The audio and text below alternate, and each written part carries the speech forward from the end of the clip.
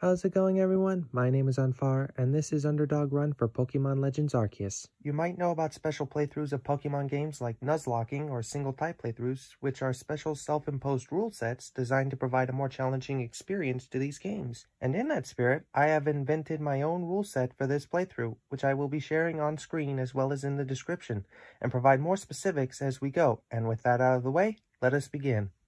My journey begins with Arceus asking what I look like and what name I go by. For this playthrough, I decided to go with Dawn and the name Agent West. Following this, apparently Arceus abducts me from my bed long enough to upgrade my iPhone to the Arceus model and gives me one mission, to seek out all Pokemon, before sending me on the adventure of a lifetime. After passing out again, I awake to the frantic shouting of, Pokemon? After playing 20 questions with Professor Laventon, he decides to help me with my current situation when his Pokemon decide to take off for exploring parts unknown with the professor having to leave me to keep up with them. A short distance away, I manage to find my ARC phone on the ground, and after a closer look, I find the message Arceus left for me saying, Seek out all Pokemon, as though I needed a reminder not 10 minutes having arrived. I then continue my quest to seek out Professor Laventon, who wasn't too hard to find, and asks me if I can help him catch his three runaways, which I proceed to do with easily catching Oshawott, shortly followed with catching Rowlet, with only having Cyndaquil give me trouble since he was the last of the trio to catch. After complimenting my bravery and skill at catching Pokemon, since his aim is worse than the average 10-year-old, I then, for some reason, share the message from Arceus on my phone with the professor, who then tells me of his dream to compile Hisui's first Pokedex and proposes we team up to reach our goals, which I agree to, without telling him my dream is not to catch them all, but to conquer the champion of Hisui. We arrive at the gates of Jubilife Village, where the professor gives his compliments to the guard for his diligent work before vouching for me. We enter the village, where the locals stare at me with suspicion and talk about me as we pass by. The professor then informs me he has to go on ahead to Galaxy headquarters to report the events that have transpired and asks me to wait for him at the Wallflower before running off. I then, for some reason, receive a GPS upgrade to my ARC phone, presumably from Arceus, before heading to the Wallflower, where the tavern keeper, Beni, refuses to wait on me since I'm a stranger. Real cold, man shortly followed by my future rival and friend Rei belittle my flimsy excuse for clothes for not likely providing any protection from Pokemon attacks and deduces that the professor must have vouched for me to even be in Jubilife Village. After a short exchange between the professor and Rei about my being nominated as a Galaxy Team Survey Corps member, I get to meet Captain Cyllene, who the professor had convinced to give me a trial to prove my worth as a 15 year old Pokemon protege Captain Cyllene then proceeds inside the wallflower while the three of us have our potato mochi outside. Karma, Beni, karma. And a conversation about my exploits, including falling from the sky. I'm telling you, I'm not from Team Sky. Shout out to M&J TV. After finishing supper, I'm shown where my place to sleep is, and after a few good nights, I proceed to my bed, deciding to turn in having had enough surprises for one day.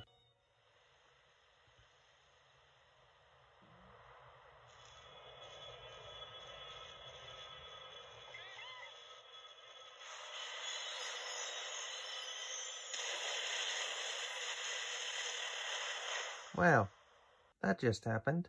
I wake to the sound of Ryan knocking on my door, wanting me to come out to play. I mean, to talk about my upcoming trial that I must pass or risk being expelled from the village, possibly to my death. Yeah, that's been brought up a few times.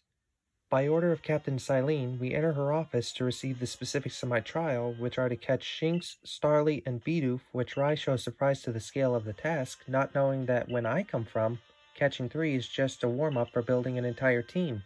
After receiving my reverse money belt and some fashion advice, I'm ready to head out when the professor asked me to join him in the main hall to choose my starter for protection in the wild.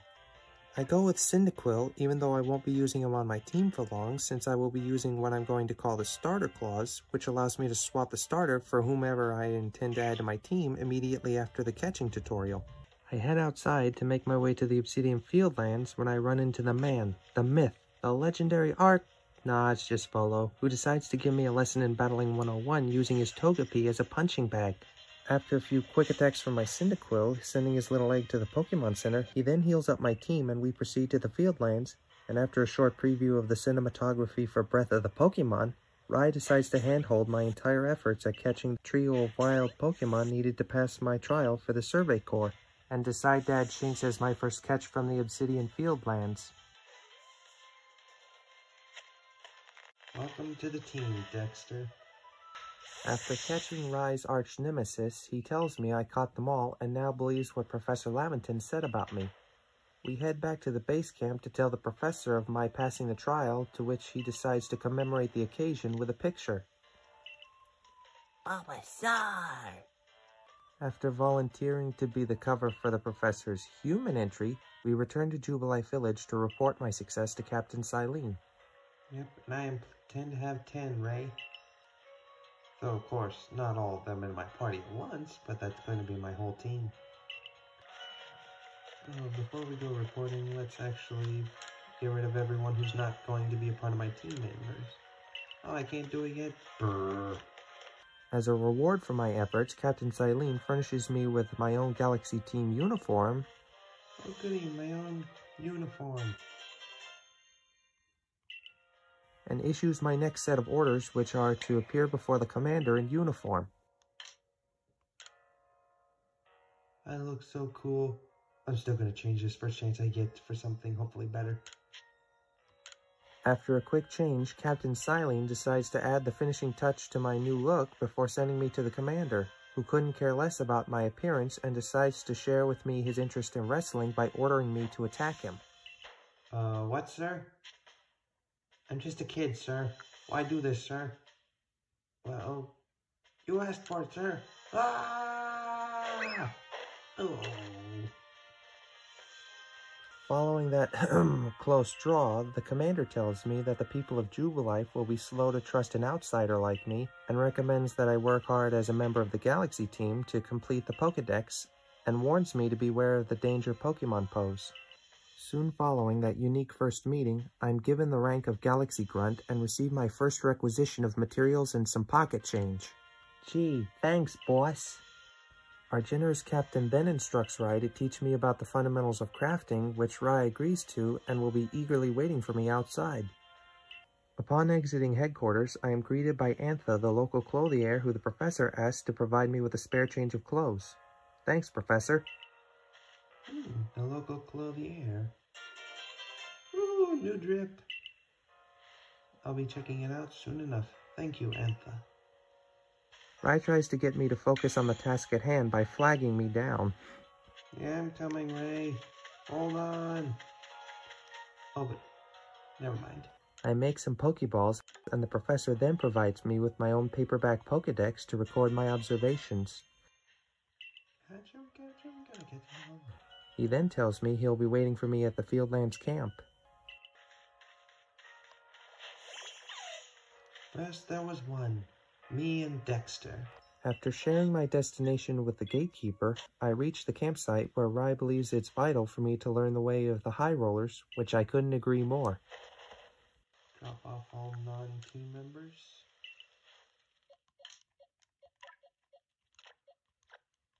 I'm finally able to freely explore the Fieldlands, but Rye being Rye decides to help my efforts by giving me tips on how to complete my Pokédex research. I then set out to catch my second teammate, which makes for a good time to explain another rule I have yet to mention, which is that for every Pokemon I add to my team, only the first I catch will be valid. Let's see how that went. Oh go away. There should be more. But the question is, which one shall be my next teammate? There they are.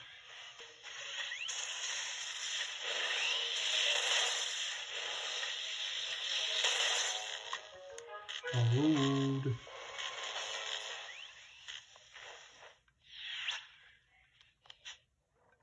Yes.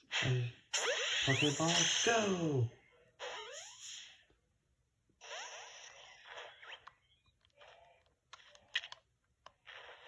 Let's try that again. Set. Really? I don't want you. I choose you. Really? Please get in the ball. Please get in the ball. Please get in the ball. Oh, come on.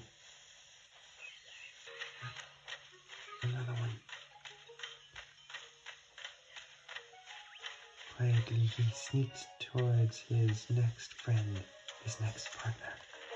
He readies the ball. He takes his aim. He shoots.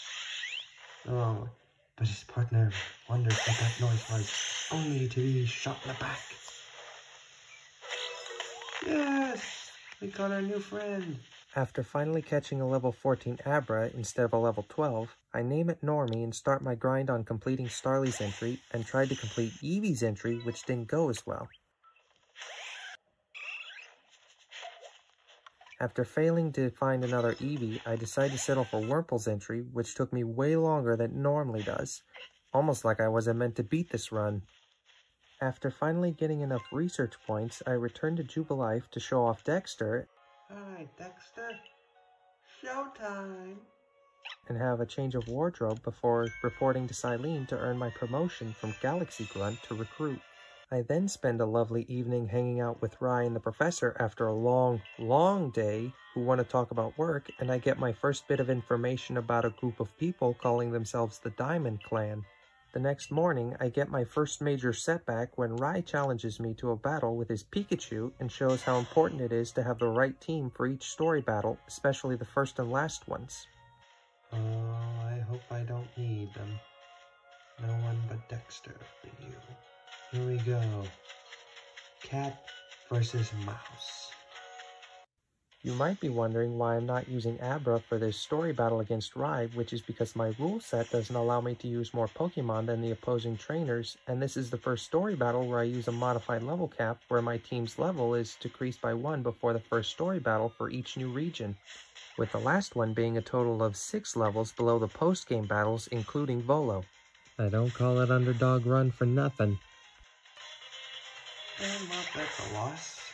Looks like I can't have my buddy Normie for the first region. I'm gonna have to wait until the Alabaster Icelands, I suppose.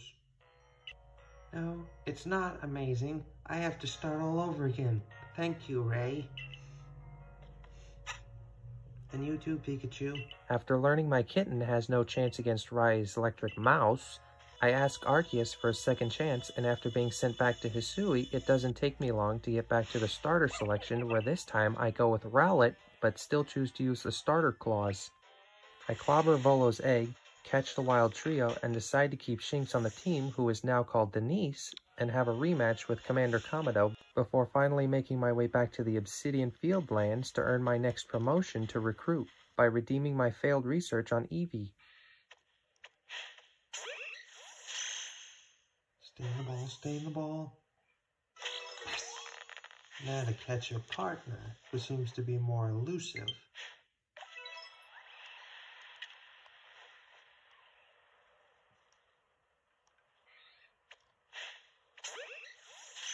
Get in that ball. Yes! This ought to make up for the two I missed. This time, I go with Ponyta as my second teammate and name him Flash Hoof. After grinding my team up and earning enough research points to earn a rematch with Rei, I accept his challenge and go with Flash Hoof as my battle partner. After taking a Thunder Wave followed by a Thunder Shock, Flash Hoof manages to fight through his paralysis and lands an Ember, taking out Pikachu. And that's how it's done. Oh, don't be too hard on him, Pikachu. He tried, but this time I better I brought a better matchup. I then get to meet the unsung hero of these types of runs, Captain Zaisu of the Security Corps, who teaches me about strong style and agile style attacks. But what I find most useful is the series of moves she is able to teach my Pokemon that are normally that they normally wouldn't be able to learn.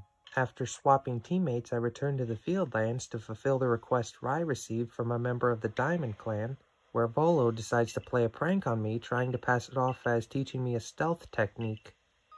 After accepting a few side requests, I make my way to the bridge where I find Rei talking with a member of the Diamond Clan named May, who challenges me to a battle with her friend Munchlax to determine if I am worthy for a request she has, to which I choose Denise as my battle partner. I choose you, Denise. I have Denise set up with baby doll eyes to minimize the damage caused by Munchlax's tackle attacks, followed up by a series of fire fangs to which we luck out getting the burn, further weakening Munchlax's attacks, before finishing it off with a guaranteed quick attack. We just managed to squeak by the win. After passing the test, May tells me the legend of an almighty Pokemon called Arc Sinnoh, who blessed the Pokemon of a hero of old, to which May is the warden to one of their descendants, before heading to Deertrack Heights, where the mission is. After some grinding and Pokemon research, I make my way up to Deertrack Heights where I find the mission is an Alpha Kricketune making a nuisance of itself, to which I'm tasked with driving it off. For this battle, I go with Denise and Flamehoof, since alpha battles are harder than normal battles, I'm allowing myself to have a max team of two.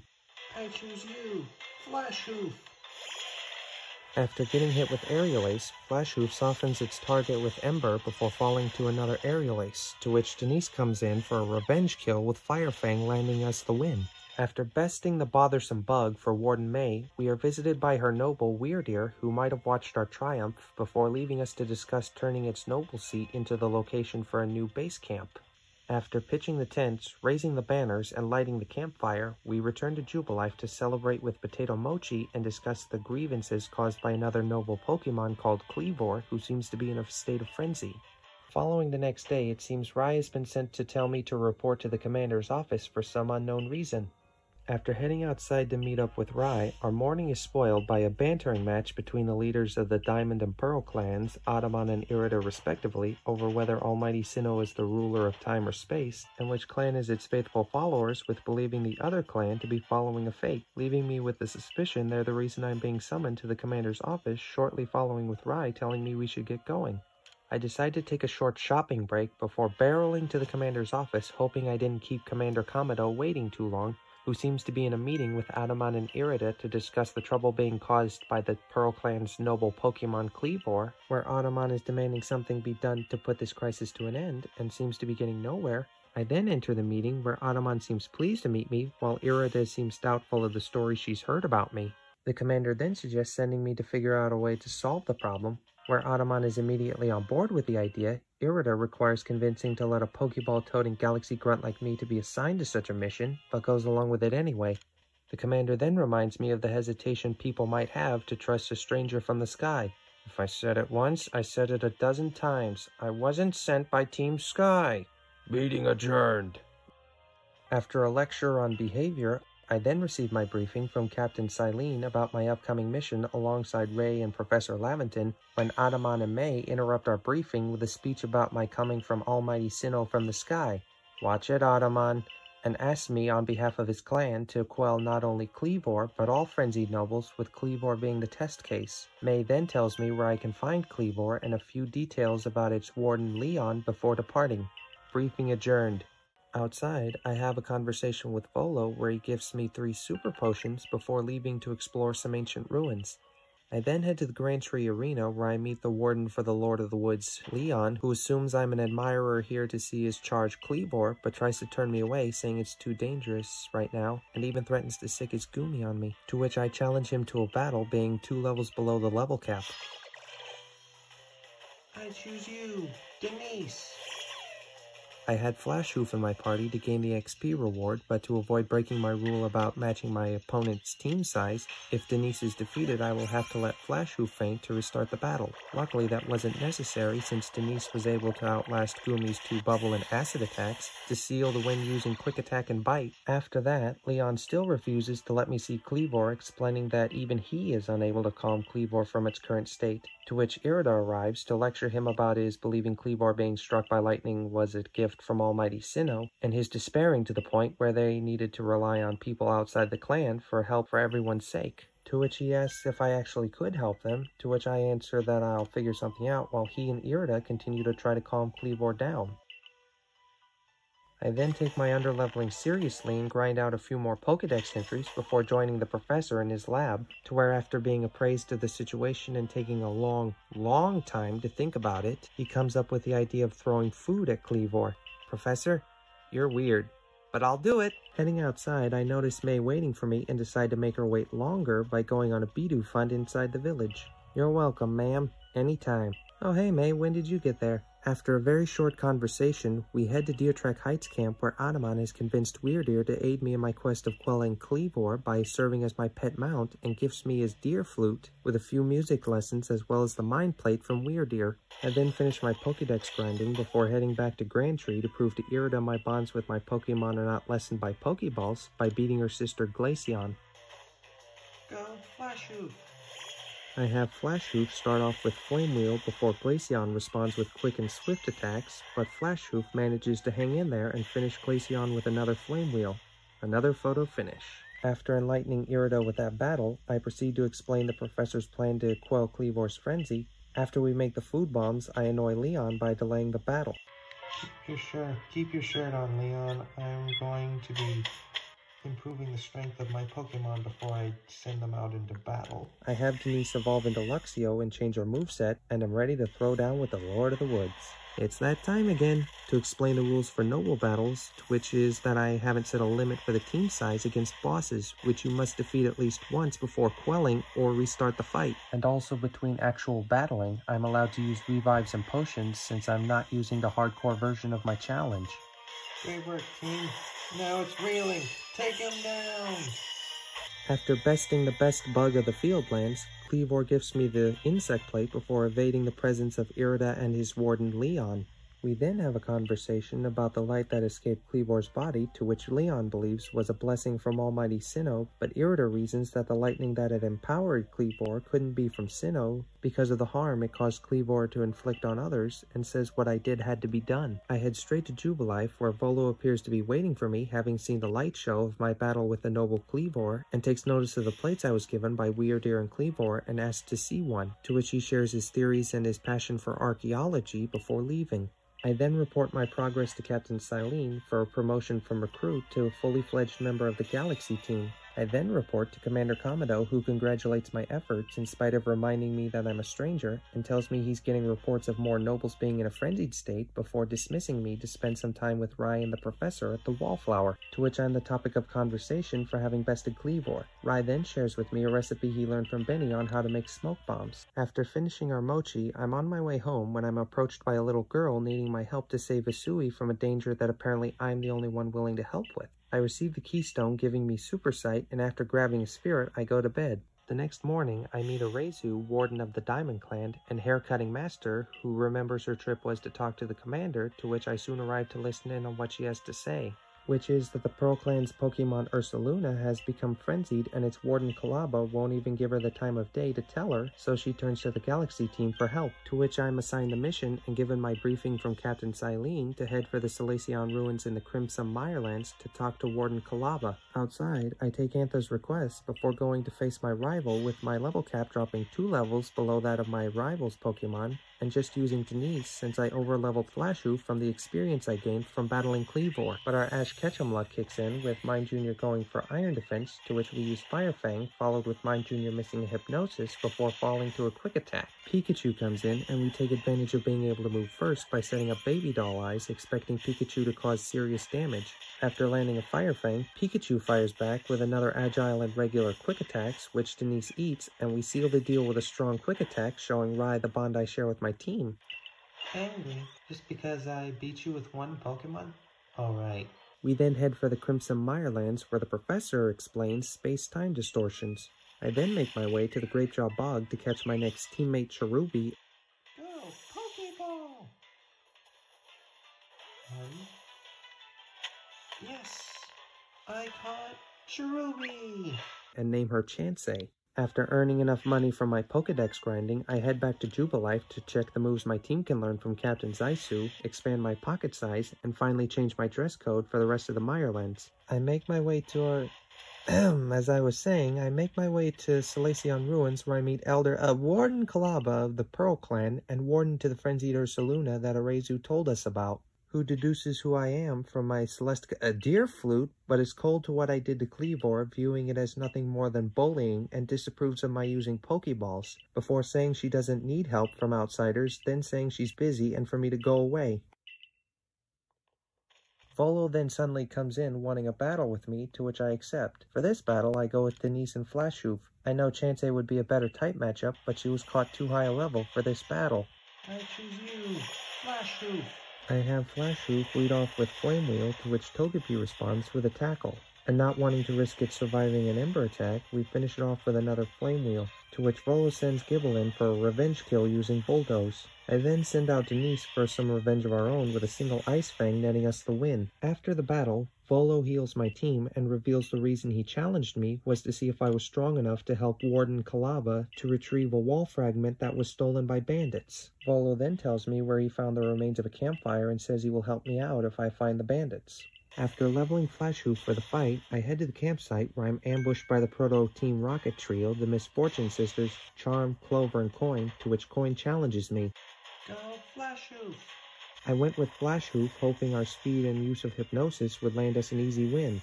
It didn't. On the attempt that we did succeed, we land the Hypnosis, with Toxicroak being too drowsy for its first turn, and we land a Flame Wheel, to which Toxicroak tries to fight back with Venoshock, but it's not enough, and we finish it off with another Flame Wheel our first hard-earned victory. After giving me the wall fragment back and whining that it was a hunk of junk not even worth their, the effort they took to steal it, Charm asked me why I was looking for them, and after hearing my answer, she gives me a poetry reading and threatens we will meet again before they run away. After setting the warp point at the Diamond Settlement and failing to catch my fourth team member, I return to the Solaceon ruins to return the wall fragment, where Volo is pleased with my results. Where were you, man? And tells me that he believes Warden Calaba's attitude isn't from a hatred of the Diamond Clan or Galaxy team, but from a deep love and devotion to the Pearl Clan. Assuming I'm here to bother her again, she is shocked when I present her with a wall fragment and a willingness to still want to calm Ursaluna.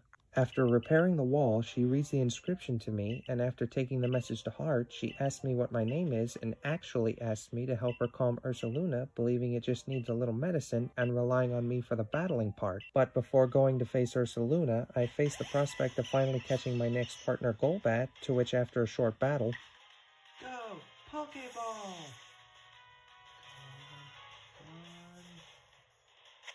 Yes. I caught. I name him Radar, and after leveling him and Chansey up, we're ready to face the big bad bear. To which I use the same rule set as facing an alpha since Ursaluna is that beefy. We fail on our first attempt, but second time's the charm, right? For the second battle, we start off with Radar instead of Chansey using Hypnosis instead of Stun Spore, which hits, with Ursaluna using Slash, to which Radar responds with Bite, but Ursaluna is too thick-skinned and takes Radar down with another Slash. After this, Chansey comes in, firing Energy Ball. With Ursaluna being too tired to move, Chansey absorbs the last of Ursaluna's strength and we net the win. After finally tiring the bear out, Warden Calaba administers the medicine which seems to work, and Ursaluna is no longer angry. After discussing the fact that Ursaluna didn't show the same symptoms as Kleavor, Elder Calaba finds some powder on his fur and wonders why Rezu was the one to warn her about Ursaluna. She then has me play my flute for Ursaluna, to which he gives me the Earth Plate, and I'm given permission to use him as a Bloodhound. I return to Jubilife, where the commander seems to want to see me immediately, because it seems Arezu, after visiting Jubilife, is missing, having been last seen at the Wallflower, while also never telling Anamon that her noble Lilligant Lady of the Ridge was also frenzied, and having rumors about her being the reason Ursaluna went berserk go unanswered. Upon being asked, the commander declares the Galaxy team's neutrality in the event that a conflict breaks out between the Diamond and Pearl clans. Upon being asked for ideas, I suggest tracking Arezu down using Ursaluna's treasure hunting nose with the scent of Beni's potato mochi, to which the commander also tasks me with quelling Lilligant's frenzy before dismissing me. I then check what moves Captain Zaisu can teach my latest team members. Back at the Mirelands, I clear out the bog-bound campsite and finish even more Pokedex entries, resulting in Chansey evolving into Cherrim, before going to find Arezu alone and injured. She asks me how it went with Ursaluna and how I found her. I tell her, which seems to give her some relief before despairing. To which Warden Calaba arrives to apologize for treating her so poorly when she came to tell her about Ursaluna. To which Arezu explains that he only went berserk after sniffing Lilligant's frenzied perfume, and tells us how she heard about the way we quelled Kleavor's frenzy, and after making balms for Lilligant, she was chased by a wild Pokemon and sprained her ankle. Adaman, having overheard our conversation, proceeds to scold Arezu for her rash trying to do it on her own actions, and will be taking the bombs to Brava Arena for her, while Warden Calaba treats her leg. After leveling the team up, I make my way to the arena where Adaman is waiting for me, to which after the quickest recovery in history, we are joined by Arezu and Warden Calaba to where I'm given battle tips for my upcoming fight. I start the encounter and I'm ready to dance off with the graceful Lady of the Ridge. After lots of rolling around, I get the chance to show the strength of my team where Flashhoof dodges a stun spore and uses Flame Wheel before dodging a poison powder. I then worry about overleveling him for the fight with Irida and swap him with Radar who takes an energy ball and uses Aerial Ace to stun Lilligant, winning us the dance-off with a Lady of the Ridge. In recognition of our fancy footwork, we're given the meadow plate before receiving gratitude from Adaman and Arezu for helping Lilligant. Adaman then demands Arezu apologize to Warden Calaba, who says that it isn't necessary and gives a speech about working together before lecturing Arezu about taking on more than she could handle alone, and as a warden, she should know better. Adaman agrees and suggests for Arezu to train hard in case this happens again. Warden Calaba then suggests working together from now on, and Arezu has a short chat apologizing to Lilligant for being unable to help her. I then leave, shortly having my own talk with Volo. I then return to Jubilife, to where I tell Beni the success of my plan to find Arezu, and after tooting his own horn, I report my success to the commander, who suggests that the rift that the lightning and I came out of could be connected.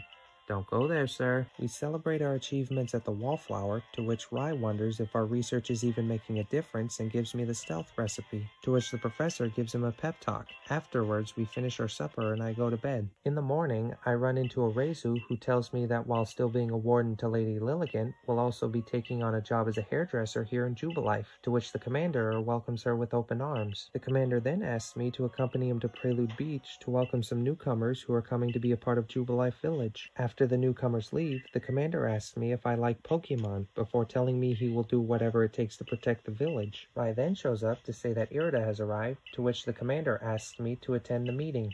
But first, after a little more dex grinding, I share my findings with Captain Cyllene, to which I'm promoted from Galaxy team member to Veteran Survey Corps member. With my new rank, I finally attend the meeting with the commander and Irida, tasking me with surveying the next region, the Cobalt Coastlands, and feel the need to tell me that the Coastlands has no lord due to a tragedy that befell him, and reports are coming in of shadowy figures being spotted at the late noble seat, Firespit Island, to which I am also tasked with investigating this desecration since the Pearl Clan's warden of the region has other matters to deal with. Irida then tells me she'll meet me there. I receive my briefing, outfit my team with new moves from Zisu, take on some more side quests, and change my wardrobe to something more fitting for a coastal trip.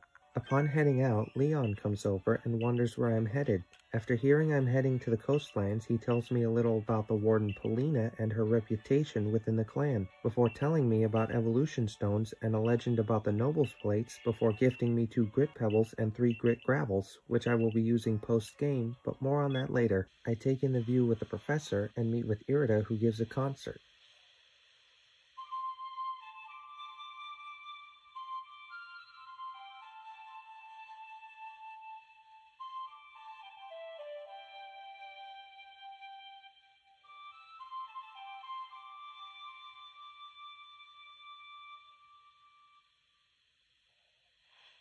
After that, she decides to test how strong her team is by challenging me to another battle, to which in spite of facing two at once, I choose you, Flashhoof!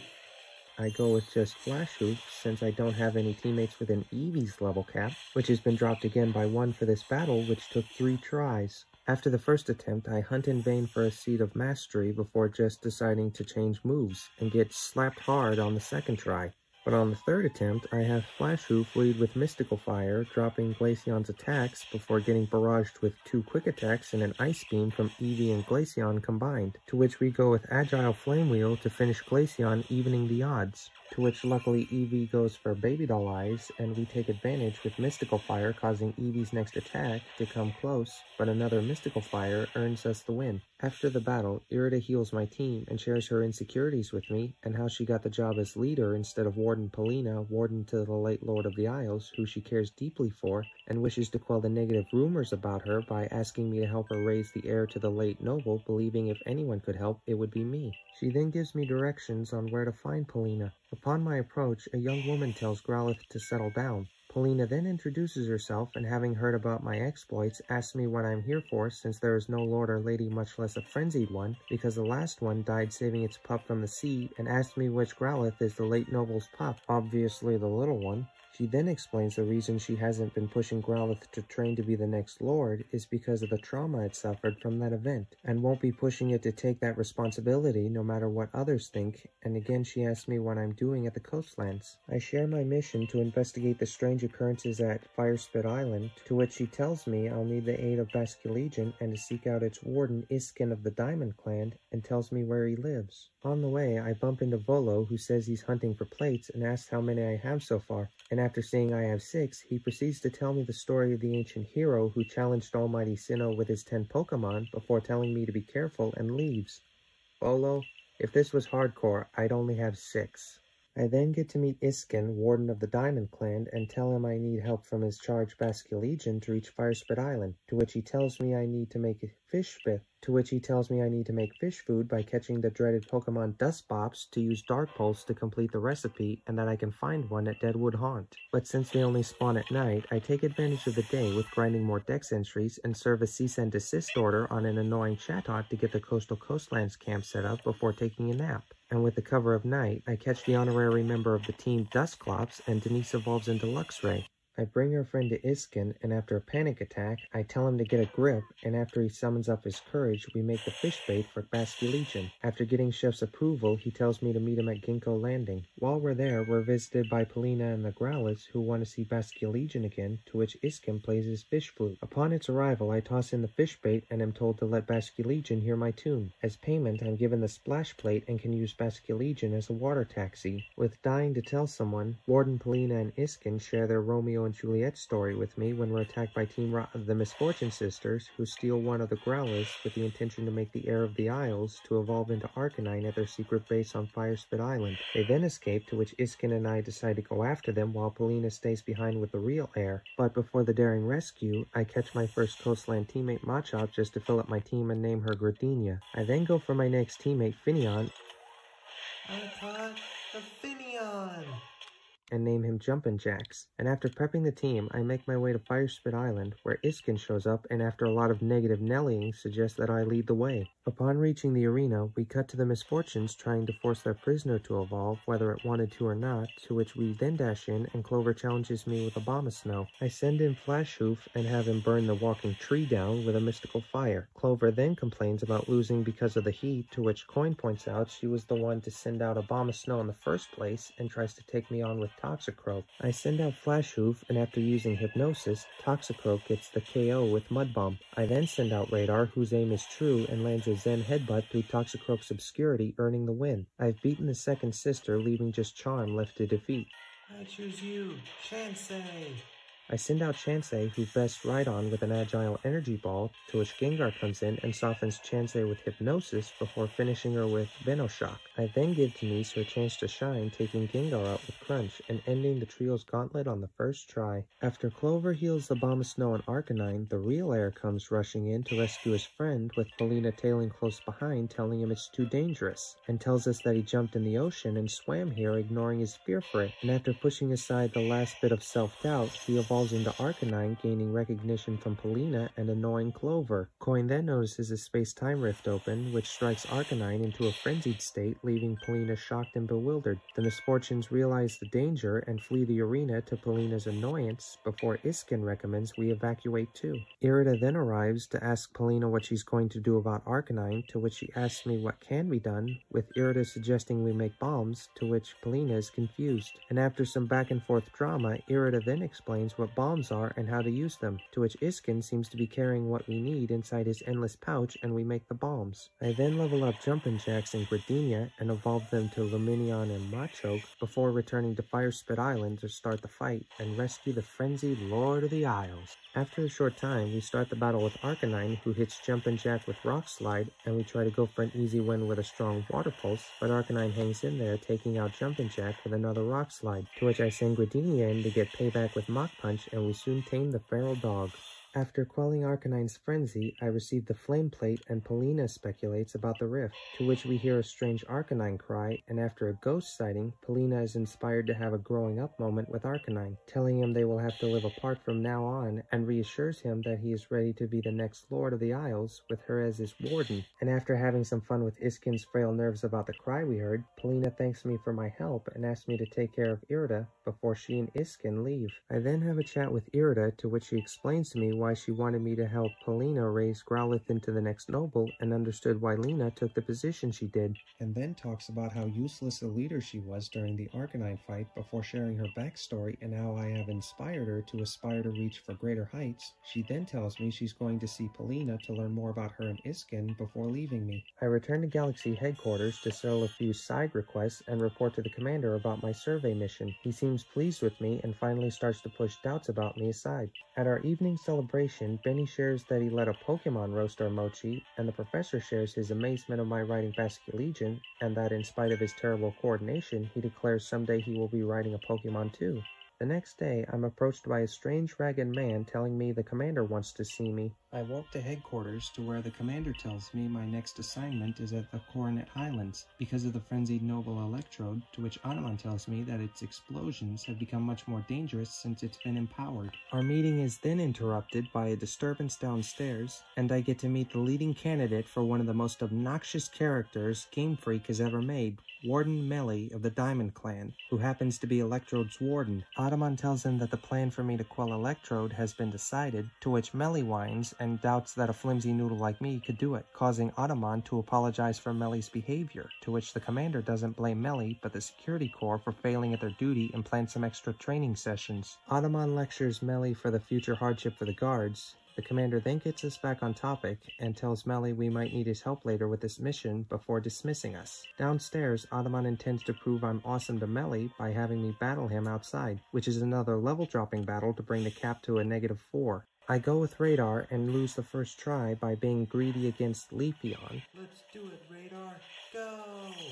But on the second attempt, Leafeon sets up Calm Mind, to which I have Radar use Cross Poison and land not just the critical hit, but also poison Leafeon. Eevee uses Quick Attack, and Leafeon strikes with Leaf Blade and suffers damage from its poisoning. We finish Leafeon with an Agile Air Cutter, to which Eevee tries to get revenge with Quick Attack, but falling short, we use Cross Poison for the win. Adaman is pleased finally proving his point, to which Melli scoffs. Adaman then tells me the member from the Pearl Clan is waiting for me at the training grounds, before bidding me farewell and tells Melli to get a move on or face a worse lecture, to which Melli whines again. Captain Cyllene summons me to her office for the briefing to which my next destination is the Coronet Highlands before giving me a lecture about not finishing enough work on the Pokedex. After grinding, saving Zeke's sister, grind some more and have Radar evolve to Crobat, do a Save the Flowers side request, I finally earn enough points to earn my next promotion from Veteran Survey Corps member to Senior Survey Corps member and receive the briefing. Understood, ma'am. I will not report to briefings underranked again. I then fulfill Antha's side request before changing for my next location. I then meet up with Irida and the Pearl Clan's Warden of the Coronet Highlands, Warden Ingo, who is also the Warden to the Pearl Clan's Pokemon Sneasler. He will also be my guide to reaching Electrode. Irida then says he's like me and that he appeared one day with no memories of where he's from, before wishing me luck, to which they then depart. I have Radar learn Leech Life, and I'm ready to head to the Coronet Highlands to where the professor tells me what type of Pokemon to expect here and a tidbit about the mountain peak. I'm then off to meet up with Warden Ingo, who hints at catching a ground type for facing Electrode, and after showing sympathy for it, Melli pops in talking down to me and tries to challenge me. Of course I refuse. He then goes on a rant about Electrode being frenzied as a divine gift from Almighty Sinnoh, and his purpose is to let Electrode stay that way, before telling me it's none of my business to interfere and to slink home before he leaves. Ingo comments on his selfish attitude and asks me if I want to carry on, to which he then tells me we have to navigate through Wayward Cave to reach his charged Sneasler and leads the way. Ingo notices the guiding torch is missing, but we roll on anyway. On our way through, Ingo tells me of a Pokemon he can't quite remember. He then notices an Alpha Crobat and we change directions. He then tells me about someone dear to him he can but can't quite remember. He He then finds the torches Melli hid, and after setting them up, he waits for me outside. We reach the exit, and Ingo tells me his backstory of how he became a part of the Diamond Clan before we run into Melli again, who whines about undoing his misdeed, to which he tries to pass it off as thinking about the cave-dwelling Pokemon, and tries again to challenge me to a battle. I accept this time and go with Radar, to which I make an error in judgment, and we lose the first attempt. On the second attempt, I have Radar lead with Air Cutter, to which Skuntank responds with an agile and regular Night Slashes, to which we finish Skuntank with an agile Air Cutter followed by a strong Air Cutter, putting Melli in his place. After the battle, Melli refuses to acknowledge his defeat and leaves for Skuntank to recover, to which Ingo then suggests we proceed inside Ancient Quarry. While inside, Ingo speculates as to the work ethics of the place, before Volo comes in speculating Ingo could have amnesia because of the space-time rift. Ingo doubts this but can't deny it, to which Volo then asks me if I remember anything from the rift. I avoid telling him about Arceus, and he then tells us that he read that the space-time rift had also appeared in the past, and wonders why it is reopened, and also why I came through it. Ingo praises his efforts to unravel this mystery, and Volo tries to act humble before leaving. We then press on, and I take on the side request to set up the mountain camp before leveling the team to take on Ingo's trial to earn the aid of his charged Sneasler and hopefully help regain more of his memories. I start the battle with Chansey and have her lead off with Draining Kiss, to which Machoke tries to get the KO with Bullet Punch followed by Double Edge, but Chansey hangs in there to which we get the KO using Agile Draining Kiss. Ingo then sends out Gliscor, getting revenge using Cross Poison, taking Chansey out. Chansey, return. I decide to risk using Denise against the ground type, not only landing Ice Fang, but also getting the Frostbite, which nerfs Gliscor's Mud Bomb, and Denise navigates Gliscor's Obscurity to get the knockout with another Ice Fang. To which his Tangela comes in to get revenge with Energy Ball. I then send out Radar, who I was debating to use against Gliscor, and get two Leech Lives to sap the life from Tangela, landing the win. Ingo congratulates me before summoning Sneasler with his mountain flute. He introduces us and asks me to play for her. After being amused, Sneasler gives me the Toxic Plate, to which Ingo suggests we proceed to Electrode while he returns to Jubilife, and we separate. Before heading up the mountain, I make my way to Wayward Cave. As I was saying, I make my way to Wayward Cave to catch our next teammate Gible, who proves to be a stubborn fighter, but we catch him in the end. In honor of his struggle, I name him Archie, and we head for our next teammate Clefairy at the Fabled Spring. I name him Russell, Archie then levels up enough to evolve into Gabite, and after level after leveling him up, I approach Melli, who strangely enough welcomes me to Moonview Arena and tries to sound wise before saying he won't let me quell Electrode and dares me to get past him, to which I battle him with just Archie against his team of three, which makes a good time to explain another rule, that against Melli and Warden Sabi's triple battles, if I don't have a Pokemon within their support team's level cap, I can combine the levels of their two weaker Pokemons in a special way for a second teammate's level cap, but I didn't have any within the limit and lost twice with just Archie. But on the third attempt, I use what I learned from the last two battles and have Archie use strong earth power, taking out Skuntank, to which Zubat tries to get revenge with Gust and Hypnosis, while Skorupi couldn't care less. I then have Archie punish her with Dragon Claw, getting the KO. Zubat then tries with another Gust, but falls to a critical Dragon Claw, and we finally pass Melli's challenge. Melli tries to be smart by saying I may have won, but he didn't lose. There's a difference. Sure, Melli. And after coming up with another excuse, he tells me he knows that we need to make bombs for Electrode, but forgot what Electrode likes to eat. I don't believe him, and he mocks me, before Adaman comes to the rescue to share with me what Electrode likes to Melli's annoyance. Trying to lecture Adaman as leader of the Diamond Clan, why does he bother with us Galaxy louts? To which Adaman responds with asking Melli if he even feels guilt to his noble suffering, to which he tries to pass it off not as suffering, but as a trial from Almighty Sinnoh. But Adaman can't afford to accept that given the danger, and tells us he brought the crunchy salts needed for the bombs, and tells us to help him make them, to which Melli begrudgingly goes along with it. We make the bombs, and Melli brags his charge is unbeatable. I equip my team and am ready to defuse the Lord of the Hollow. I evade most of Electrode's attacks and start the battle with Archie, who takes an energy ball, to which we use Dragon Claw before falling to another energy ball. I send out Flash Hoof and for leveling reasons swap to Denise, who takes an energy ball before stunning Electrode with Ice Fang, and after some determination we finally defuse the electrified ball.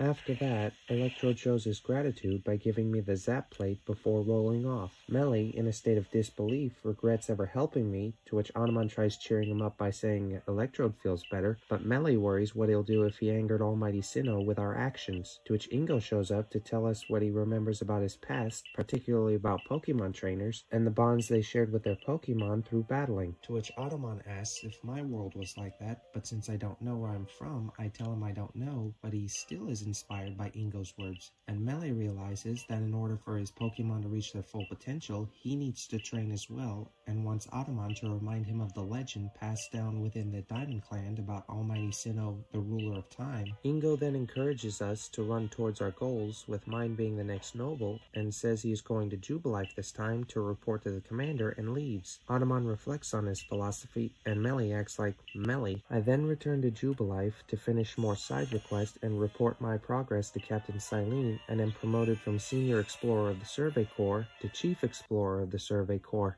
I soon report to the commander and tell him Melli's idea about the frenzies being a trial from Almighty Sinnoh, causing the commander to reflect on the questions the idea would bring up and about the space-time rift itself, before dismissing me to the wallflower where Beni is instructed to make his best potato mochi. Gee, the boss sure is generous. Ryan the professor then talk about my going from zero to hero with the professor sharing words of wisdom with us and telling me that I'm a part of Jubilife now before we dig in. The next morning, I'm greeted by Adaman who's having a lovely day and Irida who's having a rough morning because she had to get up extra early to arrive on time for the meeting with the commander, to which both are looking forward to.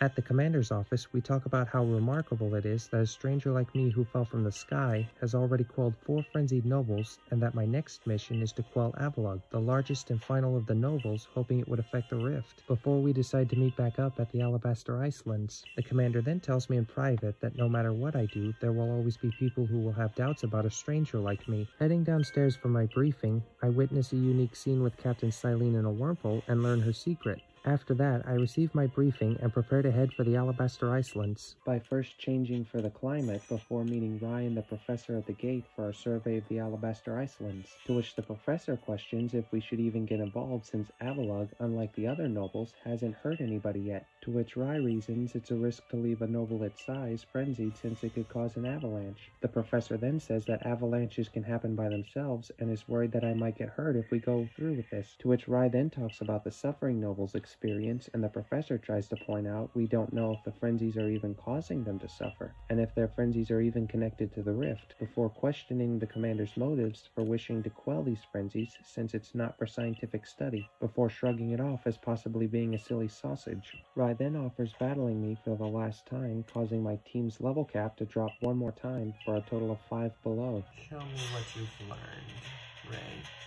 I open with Jumpin' Jack, and Rise starts with Mr. Mime using Psychic. I have Jumpin' Jack use Air Slash, then follow up with Strong Style Air Slash, falling short of a KO, with Mr. Mime using another Psychic for the KO on Jumpin' Jack. I send out Flash Hoof, and we get revenge with Mystical Fire. Rei then calls out Staravia to commit suicide with Brave Bird, but Flash Hoof hangs in there and sets up Double Hit for an easy kill with Mystical Fire, to which Rei sends out his Ace Pikachu for payback with Thunderbolt. I then send out Chansey, and to avoid a double attack combo, use Agile Energy Ball. Pikachu uses Iron Tail, and we conclude the match with another Energy Ball. Uh, you gave me a good challenge, Rei. Good battle.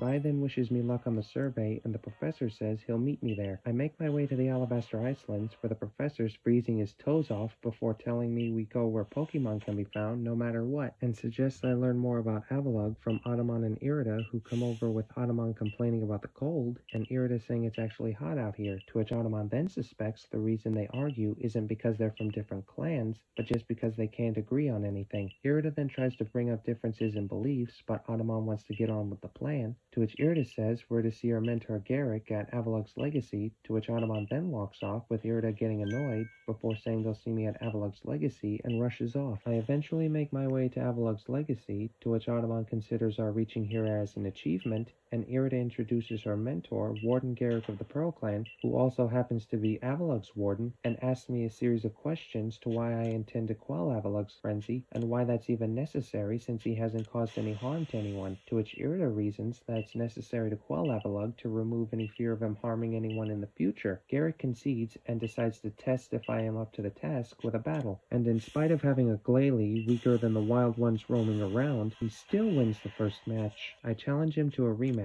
to which I send out Flashhoof and sweep Glalie with a Fire Blast, to which Froslass responds with Hex before Flashhoof fires off with Mystical Fire, netting the win. I impress Gaeric with our victory, and he gives us permission to proceed. He then tells me I need to get Eternal Ice for quelling Avalugg, which is located at the top of Avalugg's legacy. Adaman then tries to give me the short form of what I need to accomplish that, with Irida telling him to give the long form to save time, to which Adaman then elaborates that to reach the top of Avalugg's legacy, I'll need to fly there with the aid of the Diamond Clan's Pokemon Braviary, and to seek out its warden Sabi at Snowpoint Temple, and to expect her to be a little different.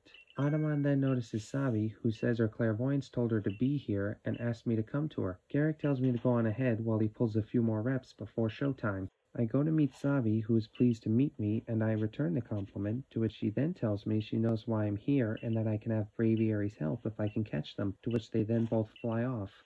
I then track them to a cliff where she plays mind games with me through asking a few questions about certain things before they fly off again, heading to Snowpoint Temple. On my way to the temple, I drop in a hole and catch my two Iceland teammates, Bergmite and Zorua, who I name Logo and Zashi. I then set up the Ice Peak campsite and finally show Arezu and Misdreavus before getting a Moonstone from the store to evolve Russell into Clefable. I then make my way to Snowpoint Temple, finally catching up with Sabi, who is pleased having someone new to play with and tells me there's puzzles inside for me to solve before she and Braviary go inside. I solve the door puzzles and reach Sabi again, who says her clairvoyance saw me with Braviary, but she still wants me to prove myself by going up against Rhyperior, Magmortar, and Electivire simultaneously. For this battle, I go with Russell and Archie using the special rule set I applied to Melee. I lead with Russell, who gets outsped for a beatdown by Electivire's Thunder Punch and Rhyperior using Strong Style High Horsepower. I send out Archie and have him use Strong Earth Power to take out Rhyperior. Electivire then tries in vain to paralyze Archie with two turns of Thunder Wave, and Magmortar uses two Flamethrowers, taking two-thirds of Archie's health before falling to Earth Power, with Electivire following suit with another Earth Power. With Russell's sacrifice, we pass Sabi's trial.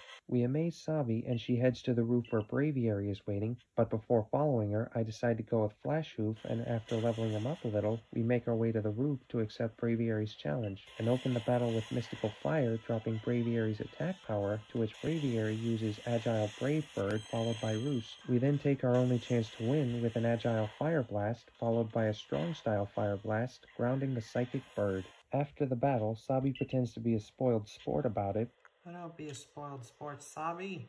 Come on back. Prankster. before telling me to play my flute with her for Braviary, to which Braviary then gives me the sky plate before Adaman comes in to give a speech, followed by Sabi telling me to jump off the temple to fly with Braviary, to which Adaman reminds me to get the Eternal Ice. Can I have second thoughts about this, Sabi? Okay, but on three. One, two. Ah, Sabi! That was a dirty trick, you little prankster. I immediately head to Avalugg's Legacy to get the ice and run into Gaeric, who also reached the top for the first time. I give him the ice, and he tells me he still has his doubts but will be waiting for me at Brava Arena with the bombs before diving off the iceberg. I then go on a big grind, getting decent levels for the team and farming Seeds of Mastery for the final battle with the champion of Hisui, and while this is going on, Archie evolves into Garchomp. Afterwards, I meet up with Gaeric and Volo on the trail, where Volo was delivering an order of sword caps to Gaeric, and they take the opportunity to tell me what to expect when I face Avalugg and a general size to expect the largest of the five nobles to be. Gaeric then proceeds to the arena, with Volo chickening out and leaving for a warmer region. I make my way to the arena, and after some squats, Gaeric makes the bombs, and after a few fighting tips, I enter the arena and am ready to conquer the Lord of the Tundra. After dodging for my life, Avalugg tires out, and we take the chance for our final noble battle. Let's go, Gradenia.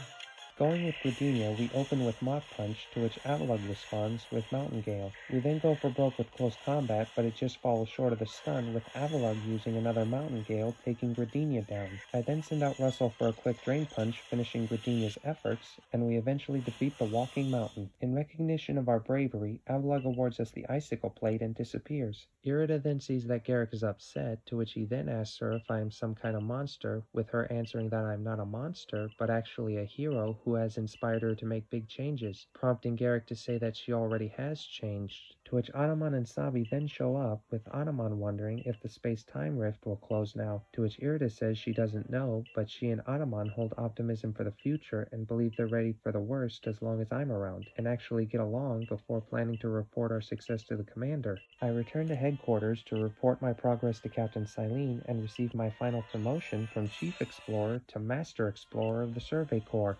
I then report my success with Avalugg to the commander, who wonders why it all started in the first place and why someone like me was able to handle it, before showing optimism for the future and tells me to take care since our survey work is not done yet before dismissing me. At our usual meeting and eating time, the professor thanks Beni for the generous portions of potato mochi, followed by Rei saying we can now survey all of Hisui and the professor puts his doubts of quelling Avalugg aside. Rei then mentions the danger the frenzied nobles posed if I wasn't here to help them, and wonders if the rift closes, would I be stuck here? To which the professor reassures us we'll find an answer to that possibility, and if not, I have a home here in Jubilife. Rei then asks to be my assistant with completing the Pokédex, to the professor's surprise, to which he successfully talks him out of it. We have supper, and everything seems to be looking up. I rush outside to investigate the disturbance, which is well, that's certainly new, and see things have gone from better to the worst they've ever been. Inside Captain Cyllene's office, I am summoned to the commander's office, where Adaman and Irida are also present. The commander then presents his detective accusation and logic that I'm the cause for the sky turning red. Commander, how many times do I have to repeat myself? I am not, and never was, a part of Team Sky. You must believe me. Adaman and Irida try to defend me with their own logic, but the commander's prejudice won't let him accept their reasoning and banishes me from the village until I fix the sky, with only my quelling the nobles being the only reason I'm not imprisoned. Rei and the professor are shocked at hearing the news, and Captain Cyllene escorts me to the gatehouse with no one speaking up for me. Don't worry, guys. I'll be back. And it won't be for revenge. The guard offers to take me the rest of the way, but Captain Cyllene intends to escort me all the way, with Rei and the professor tagging along to the Obsidian Fieldlands camp. Once there, Rei and the professor say they intend to protest the commander's decision to exile me, to which the captain advises them not to because they can't help me if they're banished too. It's then suggested I seek refuge with Lian or Mai of the Pearl or Diamond clans, before Captain Cyllene orders me to stay alive and tells me to stay true to who I am, regardless of how others treat me. The professor tells me they still need me, before I'm off to talk to Lian, who tells me his worries about what could happen with the sky being red and the rift also being larger than ever, and tells me with sympathy that the Pearl clan can't risk conflict with the Galaxy team by giving me refuge, and suggests I seek out Mai at the Worn Bridge. I find Mai at the Worn Bridge, and she asks me if I know how this could have happened, and I tell her I'm trying to find out, but she tells me the same thing as Lian for why she can't help me either. But she also tells me not to give up, and that she believes I'll find a way. After having a tender moment with some wild Pokemon near me, eventually Volo arrives, having heard about my plight, and tells me that since I have no one to turn to, and no place to go, he offers to stash me away at a hideaway he knows about. We arrive and he thinks I dislike the accommodations, before he exchanges pleasantries with the owner of the place, Mistress Cogita, and introduces me to her, to which she pities me, but is grateful the lost one has arrived so she can finally fulfill her duty, and invites me inside to explain. Once inside, she tells me what the rift is and where Almighty Sinnoh is said to be found. I ask if it's the Pearl Clan's version, and she explains you can't separate time from space, since together they are the source of all creation, and to think one rules the other is impossible. I agree with her, and she moves on to that in order to restore the sky, I must seek the aid of three lake guardians to gather the pieces of an object called the Red Chain, which is said to have the power to bind the world. Volo then questions the plan, and Mistress Cogita tells him she knows what the legends that have been passed down say. She is duty bound to share them with us, and after complaining, she asked me to fulfill my duty, to which I accept the role. Volo then tells me how my needs can be met, like where I can craft and buy materials from, and suggests how I can get rest when we hear a cry outside and investigate to find Captain Cyllene's Abra with a note on it from the captain, which says that she has arranged for me to have access to the pastures and use of the campsites, as well as that she still believes in me. Volo asks me about the letter, and I say it's a secret, to which he then says it would be nice to have help with our task with having Adaman and Irida show up on cue. After calming their people's fears for the moment, they offer their aid, but to avoid the commander becoming suspicious, we could only have one of them come with us. I choose Adaman while Irida keeps an eye on the commander. Irida then tells Adaman to stay out of trouble, to which we then depart. I head to finish an old side request and reach Lake Valor, where Volo gives us a few history lessons about the lake and its guardian. I then use the open sesame feature of my ARC phone and we enter with Volo waiting outside and run into an Alpha Overqwil. I decide to challenge myself with only allowing each member of the team to pair off against each Lake Alpha and go with Radar and Archie for the first. Go, Radar. I choose you.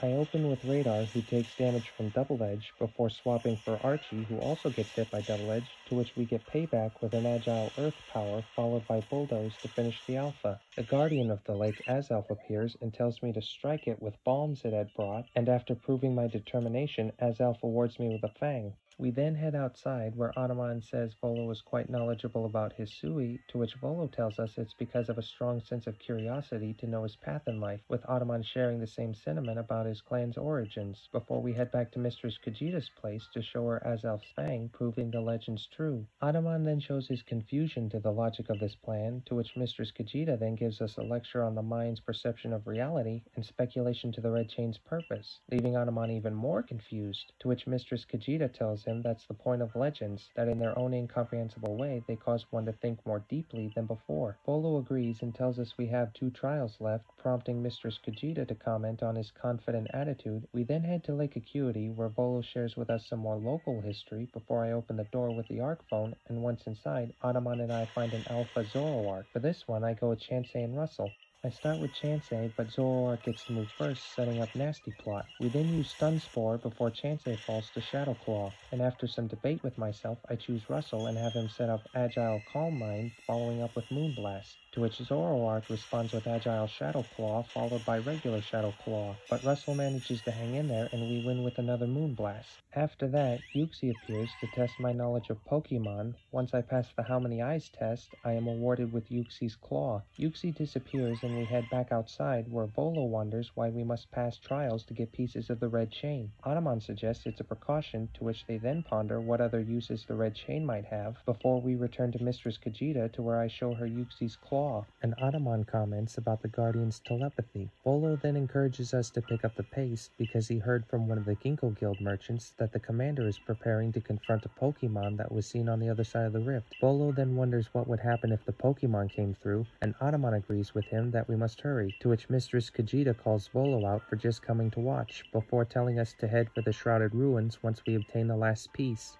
After a little level grinding, I arrive at the entrance and Volo gives us even more history lessons about the local legends. I then pop the ARC phone out and we head inside to meet our last obstacle, an Alpha Goodra. For this last Alpha, I go with Jumpin' Jack and Gardenia. I send out Jumpin' Jack, who is hit with Dragon Pulse. We go with Roost, and Goodra takes the opportunity to set up shelter. We use Roost again to stall, and Jumpin' Jack gets one shot with a crit Dragon Pulse. I send out Gardenia to use Agile Bulk Up, to which Goodra uses Iron Tail, and we go for broke with Close Combat, which falls short, and Gardenia falls to another Iron Tail. I take out Goodra with Russell, but because of my Alpha rules, I decide to revert to last save, which is back at the freaking village before the Red Sky incident.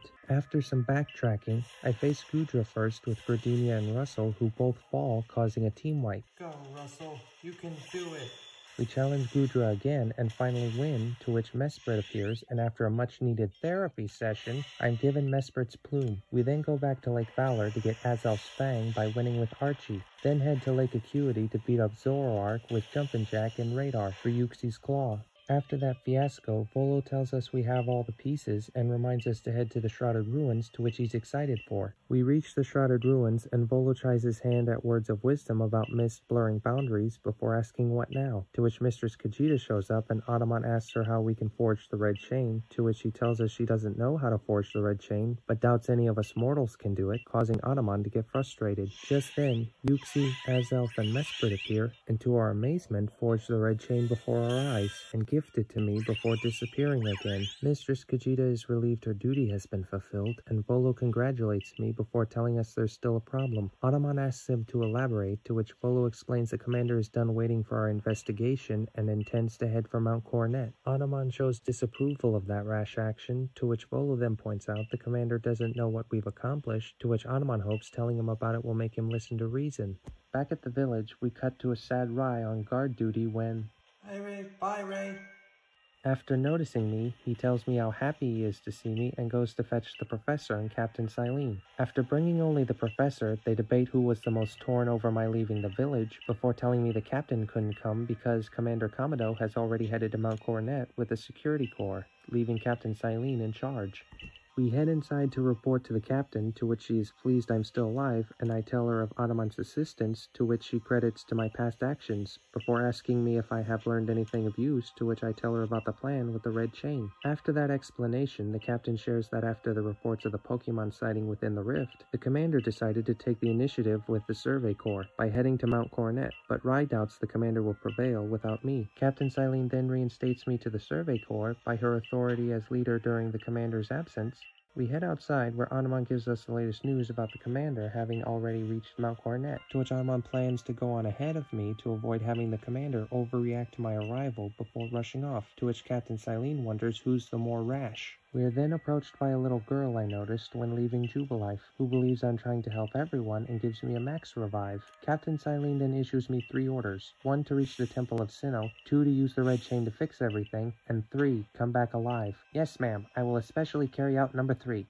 At the summit camp, Volo shows up hearing the news of my reinstatement and gifts me three max potions before telling me Adaman and Irida are already heading to the peak of the mountain and wishes me luck with the mission before leaving for the peak as well. Melli then comes over and offers his moral support.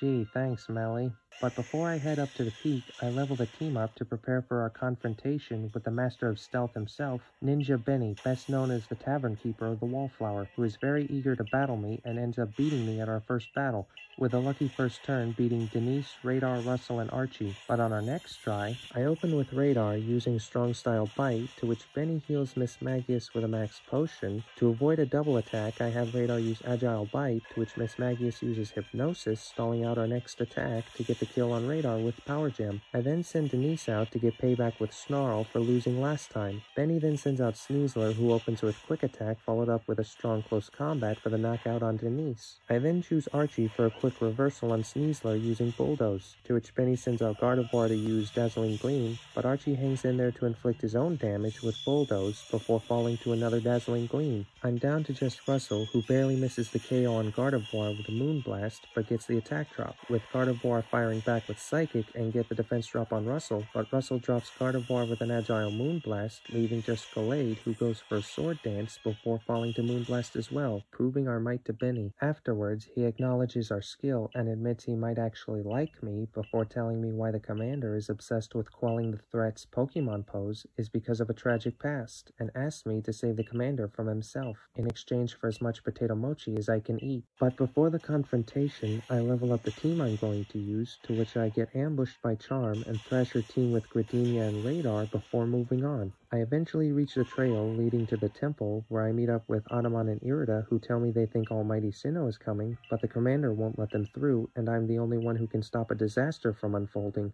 I then head further up the trail to face the commander, who has heard about the Red Chain plan, but doubts he can trust me, to which Adaman stands up for me, telling him of the perils I undertook to get the chance to fix this mess. But the commander fears what could happen if I betray his trust and decides to test Destiny's choice by battling me to see if it is beyond his control. I accept his challenge and start off with Denise using Strong Style Wild Charge for a costly knockout on Braviary. The commander then sends out Snorlax for an easy reversal with high horsepower on Denise. I send out Russell and nerf Snorlax attacks with Baby Doll Eyes before getting hit with a crit high horsepower. We then set up further with Calm Mind and fire off Drain Punch, forcing the commander to heal Snorlax. We try for a one-shot with a strong Drain Punch, but it falls short having Snorlax follow up with Giga Impact. We then use our last turn of Calm Mind with an Agile Drain Punch taking out Snorlax.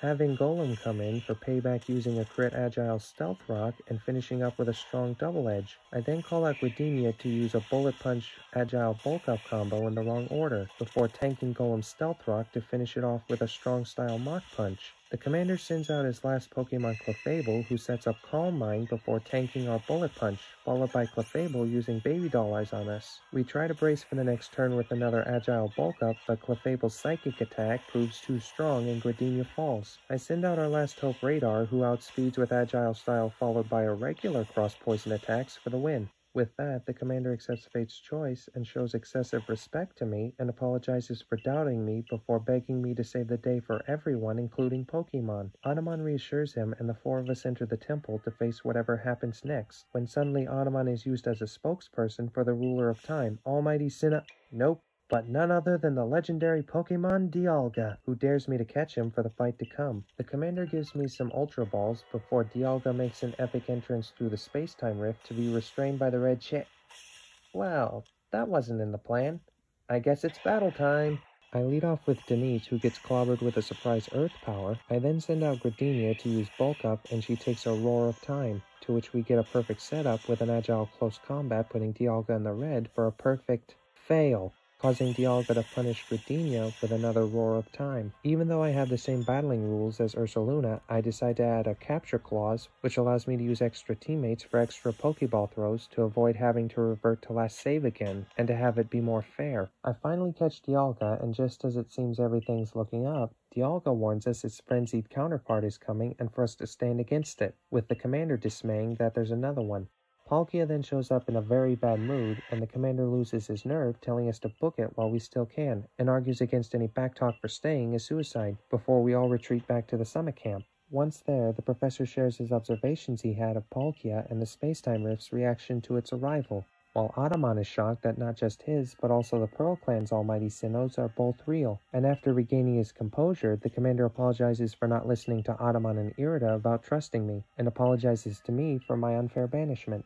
Adaman and Irida show the commander they understand his action before the professor tells us to get back to the task at hand, to which Adaman and the commander agree. And after praising me some more, Irida points out that the red chain is broken before Adaman provides the details of a plan that Dialga had devised, which includes bringing him when we confront Palkia again. As for the components of the plan, Irida collected fragments of the red chain during the excitement, the professor deduces a Pokeball for the second component, and for the final component, it is decided to call on Lian for his mineral expertise while the professor figures out exactly what mineral to ask Lian about from examining the words engraved on the earth plate before agreeing Lian is the right person for the job. And while on the subject, Adaman remembers Volo asking about the plates.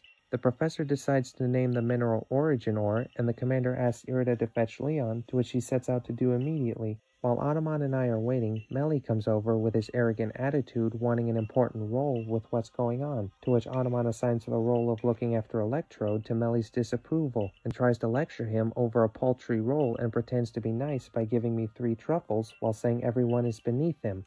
Sometime later, Irida shows up with Lian, to which Melli insults Lian's fashion and complains about us consulting with Lian instead of him, to which Lian points out why he was summoned before starting an argument with Melli over whose noble would be more powerful in a fight. And after some trash talking between them, Adaman tells Melli to play nice with the Pearl clan for now, to which Melli whines for him to revel having been spoken to by Almighty Sinnoh, or rather Dialga. But Adaman asks Lian to proceed, to which Lian tells us we're headed for the Primeval Grotto. Once we arrive, Irida tells us she can feel an extraordinary power emanating from the cave and asks Lian what he thinks. After taking various variables into consideration, he tells us he can do it, to which the Misfortune sisters step in to stop us, with Adaman recognizing Clover and asking her where she's been, with Clover telling him it's none of his business. Then Charm tells us to hand over any ore we end up mining. Irida tries to talk them out of it to Coin's annoyance and says that's why she left the Pearl Clan, causing Adaman to have had enough, and has us challenge them to battle with my squaring off against Charm.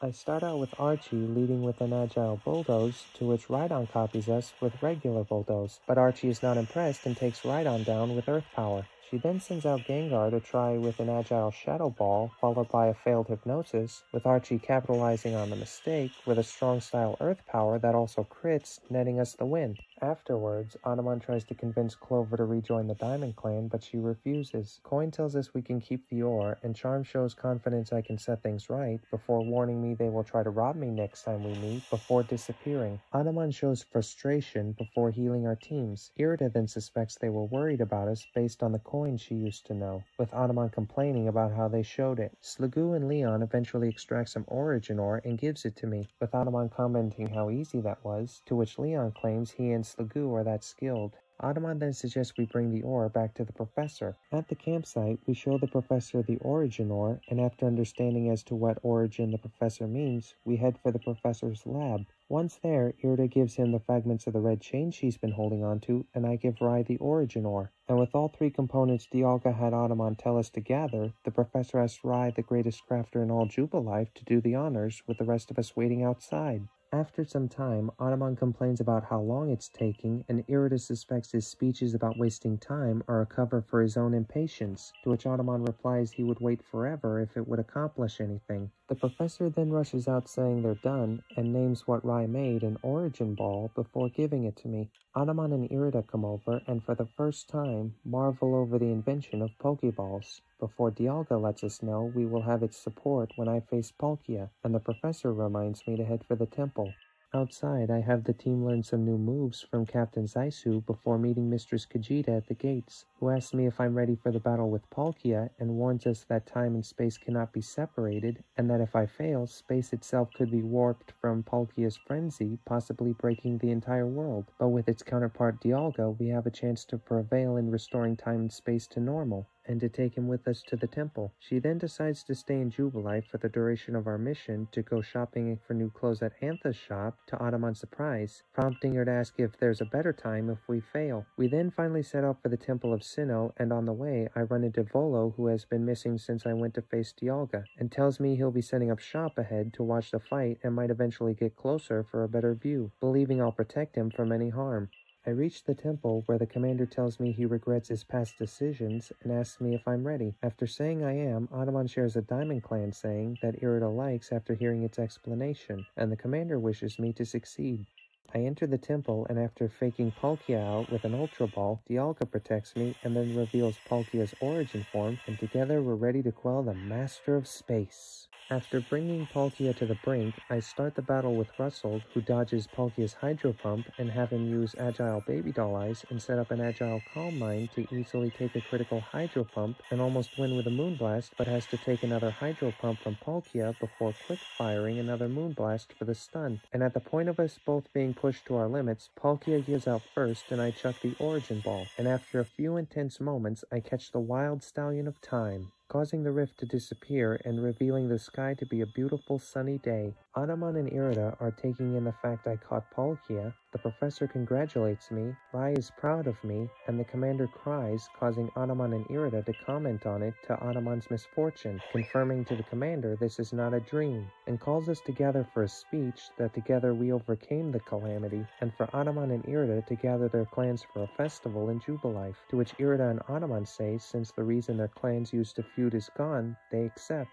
to which the commander proclaims today a new day for Hisui. We start to leave the ruins of the temple, but I take one last look back before moving on. For some, this may be the end, But for me, the point of this run was to defeat the champion of Hisui with a special rule set. But I thought I'd give a narrated story of my adventures reaching my goal and plan to continue narrating till the end of the run. I hope you enjoy the rest, and I also wanted to say that I will be dropping the level cap one more time for the post-game battles, for a total of six below every story battle, including the last one, which I will explain more when the time comes. And without further ado, let's continue! The next morning, I meet up with Rei, who wishes me good morning before telling me that he thinks the whole space-time rift incident is over. But what's not over is our Pokédex research, and he tells me there's a meeting at the captain's office and he'll see me there. But first, I decide to change for the occasion of the post-game before attending the meeting. Upon arrival, the captain asks me if I enjoyed myself at the festival, to which the professor shares, to the captain's embarrassment, that she did. She then changes the topic to our Pokédex progress, to which the professor claims we've come a long way, and we might have a long way to go, with some Pokemon only being mentioned in Hisui's legends, not knowing if they're even real, with Rei then asking how we're to know which ones are true.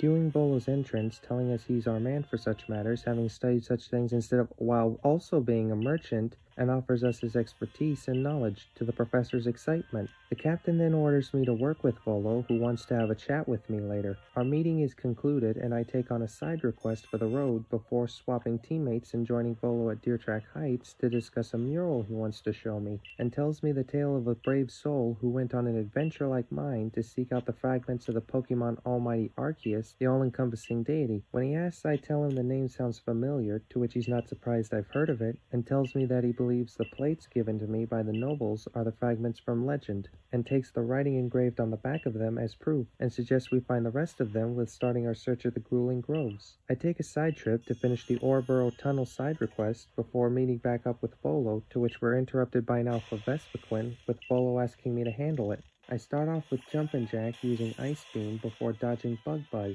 because fog rolled in, which also caused Jumpin' Jack to miss his next Ice Beam, but Vespiquen lands her next Bug Buzz, dropping our defense stats. And because of the fog, I take the chance and have Jumpin' Jack heal with Roost, but Vespiquen gets lucky and lands a strong style Bug Buzz, taking him out. I then send out Flash Flashhoof to use Mystical Fire, but the level difference is too great, and Vespiquen survives to take out Flash Flashhoof with a single nerfed Power Gem that critted. I try to wipe since I couldn't couldn't run, but Vespiquen died to bitter malice, and to my frustration, I thought I had to load from a save clear back at the Lake Guardians, but lucky for me, the game automatically saves when reaching the post game, and after a little fashion backtracking of sorts, I returned to Volo and saved before having a rematch with Vespiquen, and after enduring a bug buzz, we body her with two air slashes. No fog to protect you this time.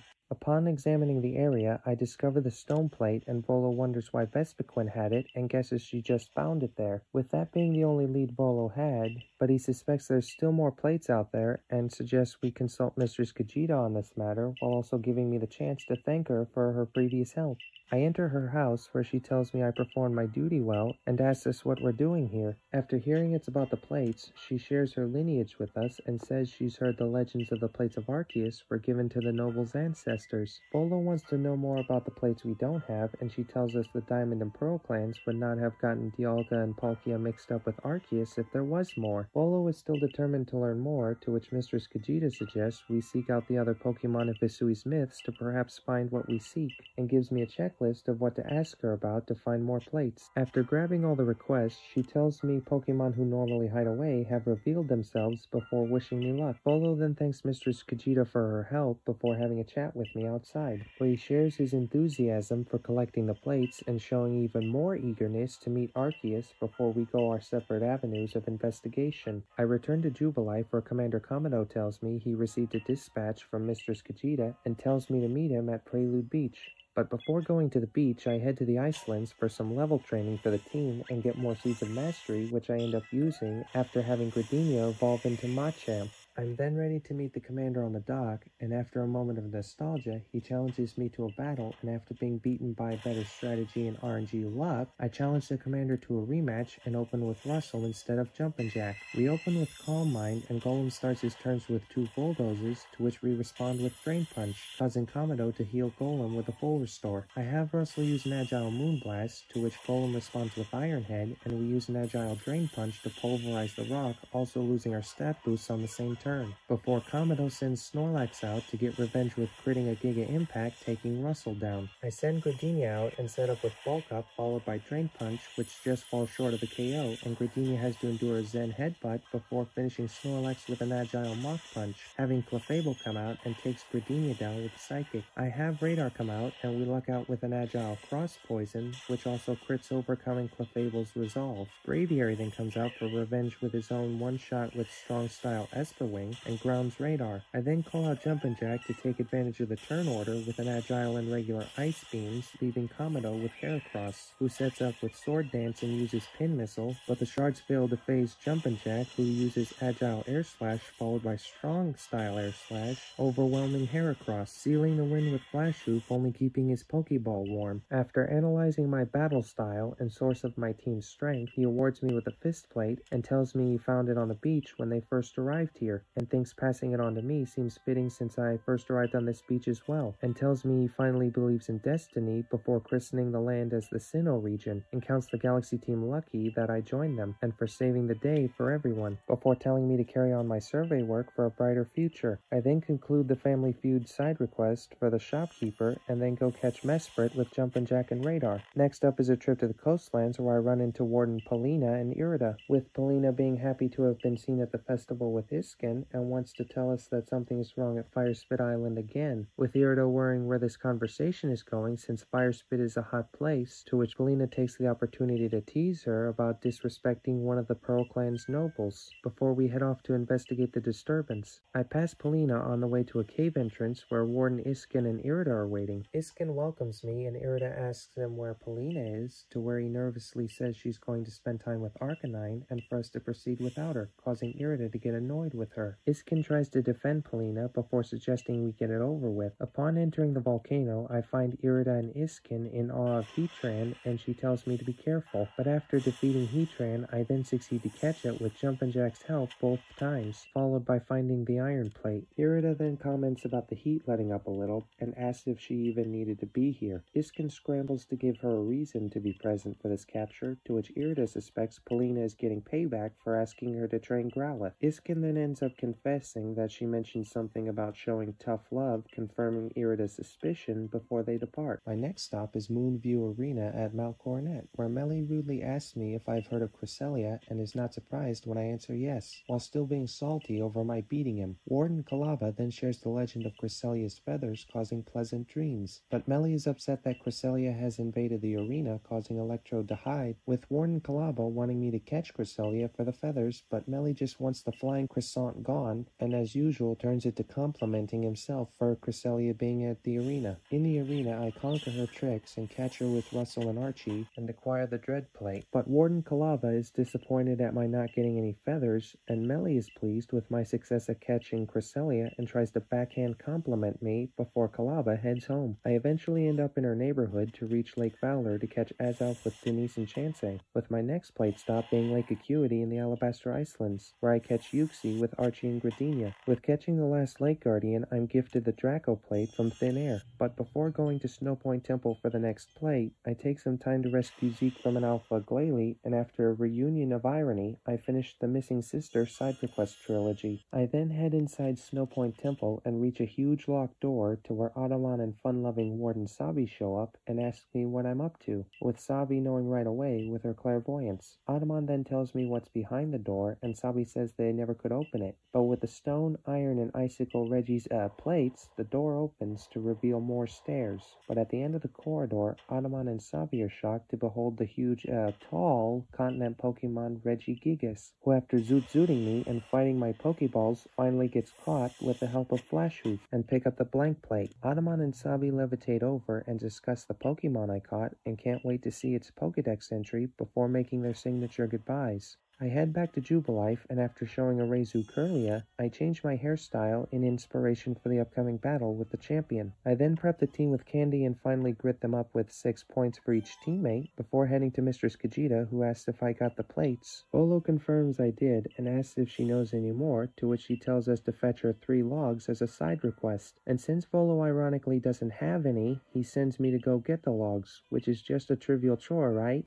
Not this time. I lose a log to falling and get jumped by Kleavor and wipe most of my team, worrying about overleveling, but I find out I had nothing to worry about and eventually get the rest of the wood. I eventually make my way back to Mistress Khajiita's place, and after Volo gets overexcited to the secret of the wood, to which Mistress Khajiita tells us it's wait for it, new cutting boards. To Volo's shock and annoyance, saying we're not searching for dinner plates, prompting Mistress Khajiita to lecture Volo before rewarding my hard work with the pixie plate, causing Volo to freak out to what I have in my hand before calming down enough to confirm it's one of the plates we're looking for, causing Mistress Khajiita to want to take a closer look at it before telling us what she used it for, and asks what we're going to do now, to which Volo suggests he and I head to the Celestica ruins to find more secrets, and Mistress Khajiita calls him out as just wanting to comb more ruins before bidding us goodbye, with Volo saying he'll see me there. After he leaves, Mistress Khajiita shares with me she also is curious to what we'll find. I make the trip to the Coronet Highlands to find Volo by a broken statue that he asked me to have a look at, and after pointing out it's the only statue here, he asked me if I know what Pokemon the statue was an image of. After my answer, he shares with me the legends about Dialga, Palkia, and this Pokemon which was banished, as well as sharing its name, which is Giratina, before telling me why it was banished and asks where I think we can find it now, and after some hinting, I suggest the Temple of Sinnoh. Volo then starts to act strange, blaming the excitement getting to him, loosening his lips, before sharing with me why he has an obsession with Hisui's myths and legends is to seek out Arceus to forge a better world, and wants us to head to the Temple of Sinnoh on Mount Coronet's Peak to see if the plates will react to where the rift was and to see if Giratina is there. Volo goes on ahead, and I soon catch up, empty my pockets, and save before talking to him to where he says the place now looks like spears piercing the heavens and doesn't detect Giratina. After I look at him strangely, he then reveals he's tried to learn everything he can as to how to meet Arceus, and even tells me he had Giratina create the space-time rift, but after that failed, he had me search for the place of Arceus as the legends directed, and with my having 17, he reveals he was given the last plate by Giratina, before doing an evil Superman reveal, ordering me to give him the plates, and because of his desire to obtain Arceus and reset the world to his designs, he is willing to fight for them, and so starts the first attempt against the first champion of Sinnoh, Volo the Insane. Oh, I've been waiting for this, Volo. I've been waiting. And now that it's here, let's go! Volo opens with Spiritomb, and I go with Russell, Go, Russell. I choose you. and have him use Agile Moonblast, causing Volo to switch out for Roserade to use Spikes, to which we respond with Strong Style Psychic, falling short of the KO, forcing Volo to use his full restore, and I have Russell set up with an Agile Calm Mind, but Spikes causes too much chip damage, and he falls to Roserade's Poison Jab. I send out Jumpin' Jack next to use Ice Beam, which also gets the Frostbite, before dodging Petal Dance to finish Roserade off with a stat-boosting Agile Silver Wind. He calls out Lucario next and has him use Bullet Punch, followed by Close Combat. Since Jumpin' Jack has ineffective moves against Lucario, I swap him for Gardenia, and Lucario goes for Bulk Up, with Gardenia playing Copycat. But Lucario reacts with Close Combat, and we get an easy takedown with Drain Punch. He then goes with Togekiss and sets up Calm Mind to survive a Poison Jab, getting payback with Moonblast felling Gardenia, causing Jumpin' Jack to come back in and use Agile Roost followed by Ice Beam to ground Togekiss. Volo then has Spiritomb return using Agile and Strong Style Dark Pulses to nail Jumpin' Jack. After realizing I can't have three teammates make it to the next phase with full health, I throw with having Archie get bested by Garchomp, followed by Radar and Chansey falling to Arcanine. To save time on future attempts, I save it after the defeat, and after changing Gardenia and Archie's movesets, we're ready to start attempt 2. I have Russell start out using Agile Moonblast again, but this time Volo uses his full restore and we set up with Calm Mind before Spiritomb makes Russell drowsy with Hypnosis. But Russell ignores it and lands a one-shot Moonblast, to which Roserade comes in and fails a one-shot Poison Jab, to which Russell fires back with Strong Style Psychic for the sweep, and as I planned, he sends out Garchomp to get revenge with Ironhead, causing Russell to get a well-deserved rest. I then send out Gardenia to set up with Bulk Up to endure Garchomp's agile and regular Dragon Claw combo before Gardenia drops the dragon with a strong Ice Punch, causing Togekiss to come in for a reversal with an agile Moonblast, overwhelming Gardenia. I then send out Speedy Archie to use double Ironhead on Togekiss's dome for a takedown. He then has Lucario attack Archie with Bullet Punch and Close Combat, but Archie hangs in there just enough to clobber Lucario with Earth Power before falling to Volo's last Pokemon using Strong Style Crunch. But Radar comes in for revenge on Arcanine with Dark Pulse and Hypnosis, which overwhelms the Fire Dog, and with our next pair of turns, Radar uses Dark Pulse twice to take the Fire Dog down, beating the first phase. Boom, that's first phase. Yes, they all got two level ups. You might have noticed my team using Volo's team as the level cap instead of Giratina. I did this as my way of avoiding making it easier to reach Giratina, but set the team's XP to possibly reach the level cap for Giratina when getting to that phase of the battle by doing a leveling strat called edging. Let's go, Giratina. Just as it seems Volo's lost, a portal opens and Giratina comes through, to which he tells him to strike me down. We'll see about that. We'll see. Go, Chansey! I choose you!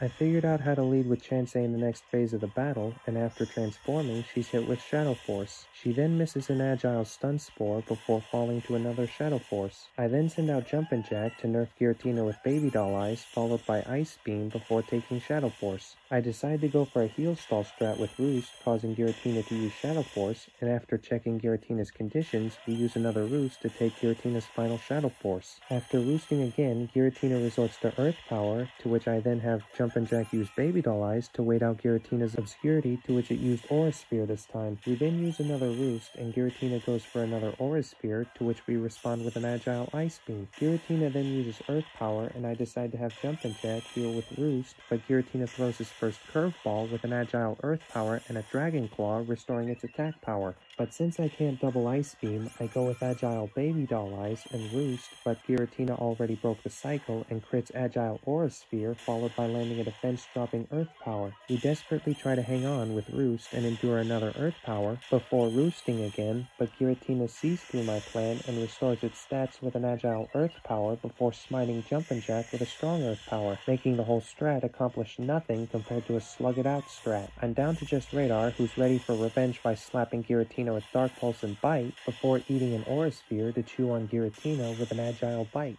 unlocking third phase Giratina's origin form and nearly faints to Giratina's Shadow Force, but is too dizzy to land two attempts at Hypnosis while also dodging Giratina's next Shadow Force. But he then misses another Hypnosis before being claimed by Shadow Force and we lose the battle, but I learn my lessons from my mistakes, and I'm ready to challenge Volo again. I lead with Russell again and land a stat-dropping Agile Moonblast, causing Volo to restore Spiritomb's health, to which we set up Calm Mind, eating a weak Shadow Ball, before using another Agile Moonblast to banish the ghosts back to their rock. On cue, he tosses out Roserade for massive damage with Poison Jab, before falling to a strong Psychic attack. Garchomp then comes out, getting payback with Iron Head. I then decide to switch gears with Archie coming in to show he's the better Garchomp with a one-shot strong style Dragon Claw which also crits. Togekiss is sent in and sets up Calm Mind before moonblasting Archie to the ground. To face this problem I send Jumpin' Jack into the fray and learning from Giratina go with Ice Beam which gets a Frostbite nerfing Togekiss's Moonblast which lowers our attack power in return. But I have Jumpin' Jack test our damage output with Agile Ice Beam before Agile Roosting. Togekiss then tries to imitate Giratina's strategy with an Agile Moonblast but it backfires and the regular Moonblast barely tickles before shaking off Frostbite. We then use Baby Doll Eyes to set up a healing strat with Roost and easily take a Moonblast before using Agile Roost to get hit harder with the next Moonblast. And after being safe from double attack, Jumpin' Jack heals with Roost again, and after taking the next Moonblast more easily, we make our move and finish Togekiss with an Agile Ice Beam, prompting Volo's Lucario to use Close Combat for an obvious takedown. I send out Gardenia to set up with Bulk Up, and Lucario tries to resist with Close Combat, but is pummeled by Drain Punch, causing Arcanine to be sent in to try with Raging Fury, but meets the same fate to a strong style Drain Punch, locking in our team against Giratina. I lead off with Chansey again and get a repeat of the last attempt with getting hit by Shadow Force, and this time missing a strong style stun spore before falling to another Shadow Force. I then send out Gardenia to set up Bulk Up before getting hit with Shadow Force. Gardenia then, against all odds, hits Agile Ice Punch and regular Ice Punch, getting the Frostbite, and barely survives another Shadow Force before trying for another Ice Punch. That hits, causing Phase 3 to activate, and like a true MVP, Gardenia dodges the first Shadow Force to land one more Ice Punch before going down to Shadow Force for a well-earned rest. Finally, Radar comes in to use Dark Pulse before eating a Shadow Force to seal our victory with Agile and Strong Style Dark Pulse. Let's go, baby! Let's go! I am the winner! Woo! Let's go! Pokemon! Legends Arceus! Second playthrough! Victory! And with that, the run is complete. After that defeat, Volo criticizes Giratina for running away after the beating it took, before asking me if I was driven by a dream, which I have to say yes, Volo, it was a dream to beat you with a special rule set. Volo then tells me he hasn't given up on his dream to one day obtain Arceus, no matter how long it takes, and tells me he won't sit on the sidelines while I meet Arceus, before leaving a broken man never to be seen again.